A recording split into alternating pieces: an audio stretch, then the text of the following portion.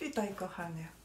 Dziś chcę się podzielić z Tobą moimi spostrzeżeniami, przemyśleniami i tym, co czytałam, czego się dowiedziałam na temat podstawowego, gwarantowanego, minimalnego dochodu, o którym mówi się teraz dużo na świecie, a w niektórych krajach go nawet wprowadzono.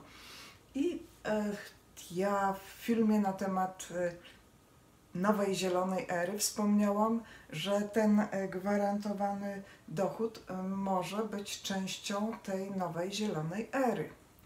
E, czym on jest, jakie są wątpliwości, jakie są rozwiązania, co ludzie o tym mówią, co ja o tym myślę. W prasie czytałam dwa takie mocne artykuły, tu, jeśli chodzi o krytykę i to od tego najlepiej jest zacząć, bo tutaj od początku wyjaśnią się pewne wątpliwości. Pierwszy mocny artykuł to był na ten temat, czy my na to stać, bo to kosztuje, to są pieniądze z budżetu i czy ludzie będą chcieli pracować, jak dostaną pieniądze i czy my możemy tak rozdawać ludziom pieniądze, bo to przecież jesteśmy, jest kryzys i y, tych, tych pieniądze z budżetu się rozchodzą. To, jest, to był pierwszy artykuł i wyjaśniono w nim y, też, że y, w jakimś sensie to się zwraca. Nie, nie zawsze od razu, niektóre rzeczy się dość szybko zwracają, na inne trzeba poczekać długo i to jest, dla, to jest powód, dla którego należy kontynuować badania nad tym i próby i e, jak e, to, to będzie działało, dlaczego to się zwraca, to opowiem za chwilę, ponieważ byłam również na spotkaniu Partii Zielonych w Kanadzie, Green Party, i tam było bardzo sympatyczne, fajne spotkanie z ekonomistami, z, z ludźmi, którzy wiedzą e, nieco więcej. Ja mówię, mogę powiedzieć o tym od strony psychologii społecznej, a dowiedziałam się również od ekonomistów. I y, to o tym opowiem za chwilę. A drugi artykuł, o którym czytałam, to było o tym, że wszyscy pracownicy socjalni stracą pracę, bo jeśli zamiast będziemy y, mieli różne ośrodki pomocy społecznej, które dają biednym ludziom pieniądze, obliczają je, gdzie pracują pracownicy socjalni, to oni wszyscy stracą pracę. Ale ja też mogę o tym opowiedzieć i opowiem za chwilę, ponieważ pracowałam w Polsce jako pracownik socjalny przez dłuższy czas. Potem byłam, pracowałam później, stamtąd awansowałam do Ministerstwa Zdrowia i, i, i, i Spraw Socjalnych Także mam dużo też ze swojej strony y, przemyśleń, którymi się chcę z Wami podzielić, dlaczego uważam, że tego też nie należy się obawiać. Zacznę teraz od, od tych, to były dwa artykuły, jeden dotyczących pracy pracowników socjalnych, a drugi dotyczących budżetu. Wątpliwości, do, czy, czy możemy wprowadzić czy możemy dać ludziom pieniądze? No minimalne przecież, minimalne pieniądze. Czy możemy to zrobić? Y, powiem y, o tym teraz w skrócie o tym, jak, co powiedziano na tym, na specjalnej sesji poświęconej temu, organizowanej przez Partię Zielonych. I tam powiedziano, że gwarantowany minimalny dochód należy traktować nie jako nasz wydatek, ale jako rodzaj inwestycji. Inwestycji na przyszłość, która się opłaca. E, przede wszystkim tak e, zlikwidowanie tych wszystkich ośrodków społecznych, różnych tych instytucji, całej biurokracji, która przydziela też zasiłki dla bezrobotnych, dla ludzi, którzy tracą pracę, dla ludzi, którzy są chorzy, nie mogą pracować. To wszystko będzie mogło być zlikwidowane, także na tym będzie, na tych wydatkach, na e, tych wszystkich urzędników będzie oszczędność I y, to nie znaczy, że oni stracą, bo będą dla nich inne zadania. Jeśli ktoś jest y, dobry, o, czym powiem za chwilę, trudno w jednej chwili o wszystkim powiedzieć. Ale jakie będą zyski dla społeczeństwa? Jaki będzie zwrot z tego? Przede wszystkim będzie większa sprawiedliwość społeczna, ponieważ bardzo trudno jest określić social justice, jak, jak oni powiedzieli po angielsku. Y, też y, będzie większa sprawiedliwość społeczna, ponieważ człowiekowi czasami trudno jest ocenić czyjąś sytuację. Nie zawsze te pieniądze są przydzielane sprawiedliwie.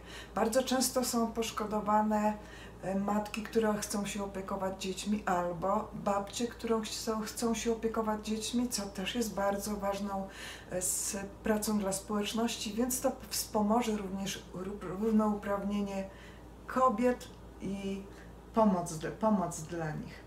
Również spadnie działalność kryminalna, ponieważ cała pomoc dla biednych jest obliczona tak, że ma być bardzo minimalna, żeby właśnie zmusić ludzi do pracy, żeby ludzie nie chcieli, tak żeby ludzie tylko na, jakby, żeby przeżyć na minimalnym poziomie y, tak, na takim dostawali te pieniądze, nie więcej, ale czasami nie z winy ludzi.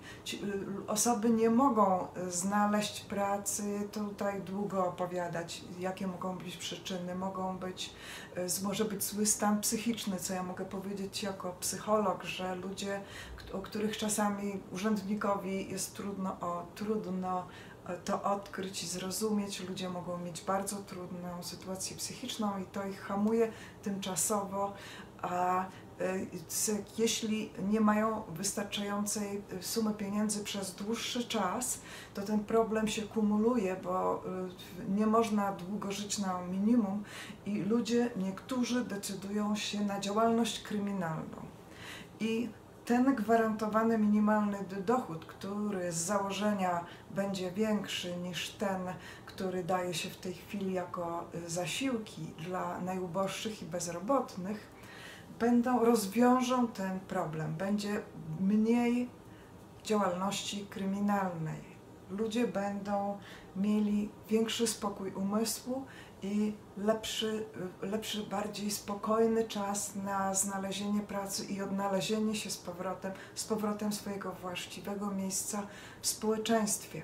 To dotyczy również y, osób wychodzących z więzienia, które często y, są przekreślone kompletnie, jeśli chodzi o znalezienie pracy. Czasami niestety y, jest sytuacja, jeśli ktoś był dłużej w więzieniu, nie ma innego wyjścia, jak e, powrócić do działalności kryminalnej i wraca do więzienia.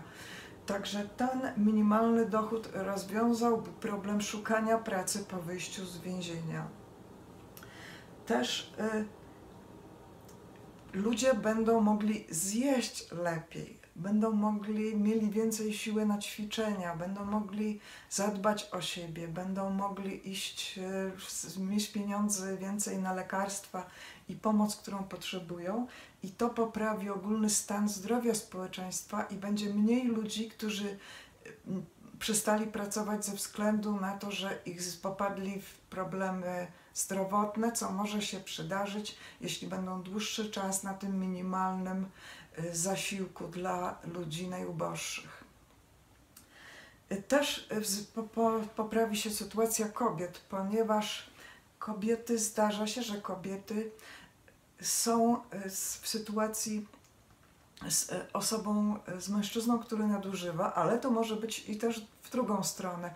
Może być też mężczyzna, który jest w sytuacji, w, żyje, mieszka z innymi osobami, z mężczyznami lub kobietami, które, w których jest sytuacja jego nie jest bezpieczna ze względów psychologicznych, jego stanu jest w jakiś sposób nadużywany i nieszanowany, a nie może opuścić tego miejsca, ponieważ nie ma funduszy na to, żeby się uniezależnić, wynająć sobie jeden mały pokoik przy rodzinie nawet y, i tam y, mieszkać i często praca, którą ludzie wykonują, nie, o, ludzie o minimalnym wykształceniu, często wykonują pracę w bardzo małej ilości godzin, która nie pozwala im na przeżycie i utrzymanie się. Więc to by rozwiązało te wszystkie problemy, bo stworzyłoby większe bezpieczeństwo, lepsze zdrowie,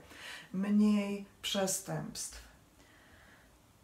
I y, też ludzie mogliby łatwiej wybrać miejsce, gdzie chcą mieszkać, rejon miasta albo kraju, w którym chcą mieszkać, jeśli mieliby nieco więcej własnych pieniędzy i mogliby podróżować, przenieść się, ponieważ teraz istnieje rodzaj segregacji. Ludzie o najniższym dochodzie mieszkają w najuboższych dzielnicach, gdzie warunki są bardzo złe i jest mniej bezpieczeństwa więcej przestępstw i to powoduje y, następny problem społeczny. To wszystko by się zmniejszyło, y, zrównałaby się bardziej, zrównałby się bardziej poziom życia.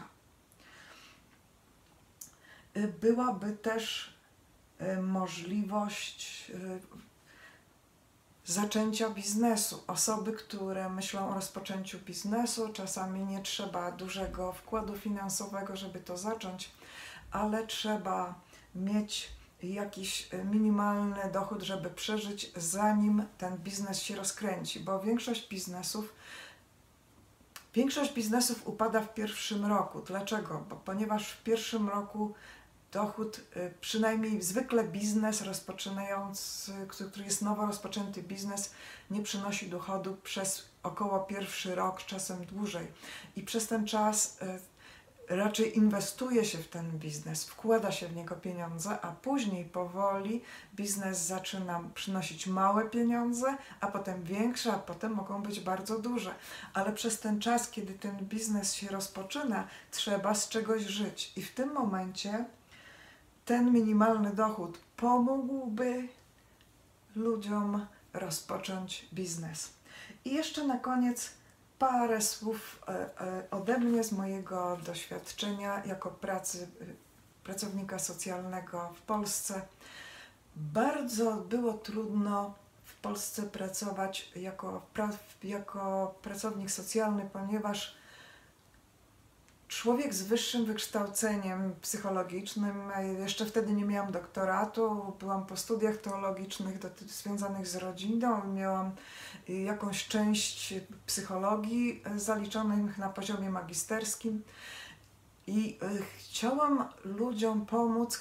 Moim celem było pomóc ludziom, żyć lepiej, zarabiać więcej pieniędzy i radzić sobie lepiej życiu, wyjść z biedy po prostu, być, być kimś takim, takim e, trenerem sukcesu trochę, takim kimś, kto wyciąga tych ludzi z dołu i, i pomaga im zrealizować siebie ale to nie było możliwe, bo większość czasu była poświęcona na obliczanie, ile mamy przydzielić i sprawdzanie, czy im się należy. I tak naprawdę na tym polegała praca pracownika socjalnego, co jest bardzo przykre.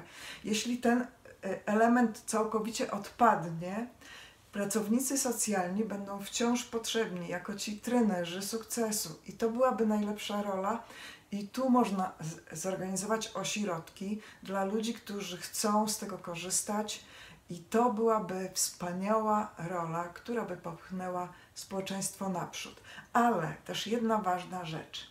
Ten minimalny dochód powinien być przy, przyznany bezwarunkowo, ponieważ jeśli jest zrobiony w zły sposób, może być, mogą być pewnego rodzaju nadużycia, w którym manipuluje się ludźmi, żąda się od nich czegoś w zamian, y, kontroluje się ich i to wszystko powinno być wyeliminowane. I tego zwykle też ludzie się boją.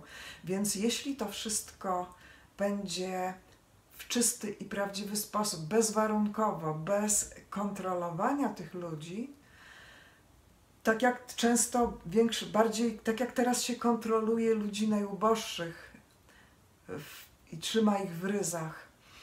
Jeśli tego nie będzie, to nie mamy się naprawdę powodów, nie mamy naprawdę powodów, żeby martwić się o tym, żeby spokojnie i bez lęku wprowadzić minimalny gwarantowany dochód, ponieważ on przyniesie tylko pożytek nie tylko dla ludzi, którzy z niego korzystają, ale dla nas wszystkich, któ- któ- którzy y, nie tylko ci tych, którzy najbardziej tego potrzebują, najbiedniejsi, ale każdy z nas, nawet ci, którzy płacą potem wysokie podatki, wszystkim nam to się opłaca. I to wszystko na dzisiaj. Dziękuję. Trzymaj się, kochanie. I do następnego usłyszenia. Pa.